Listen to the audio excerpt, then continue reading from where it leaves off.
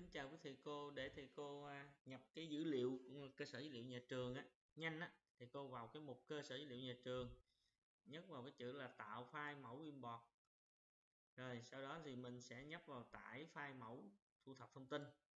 Mình tải file này về mình nhập một file một thôi. Rồi mình mở lên.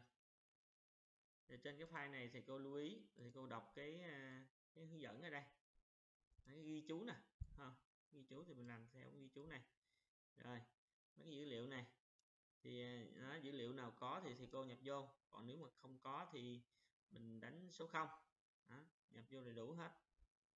Thì mình xem lại coi dữ liệu này nhập có chính xác không. Đấy. tổng số giáo viên.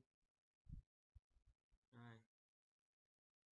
Đó, dữ liệu chính xác thì mình chỉnh sửa trên đây thôi. Đó mình chỉ cần chỉnh sửa rồi sau đó là thầy cô lưu cái file này lại. Ở một đường dẫn nào đó.